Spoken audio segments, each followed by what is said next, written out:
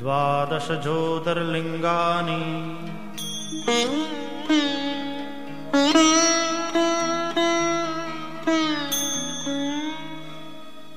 सौराष्ट्रे सोमनाथञ्च श्रीशैले मल्लिकार्जुनम् उज्जयिन्यां महाकालम् ओङ्कारममलेश्वरम्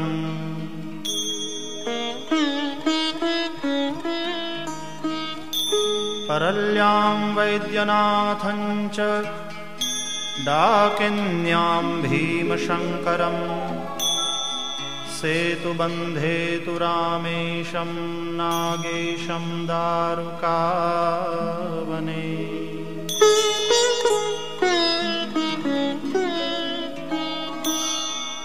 वाराणस्यान्तु विश्वेशम् त्र्यम्बकं गौतमीतटे। हिमालये तु केदारम् धुष्मेशं च शिवालये।